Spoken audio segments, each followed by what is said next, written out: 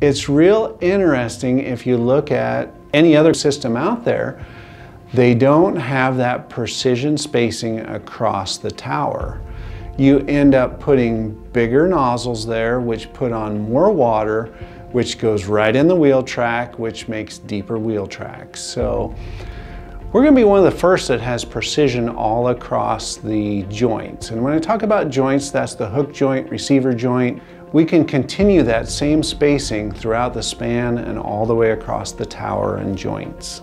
In the E3, we offer anything from an 80 foot clear up to a 220 foot in 20 foot increments. So 80, 100, 120, 140, 160.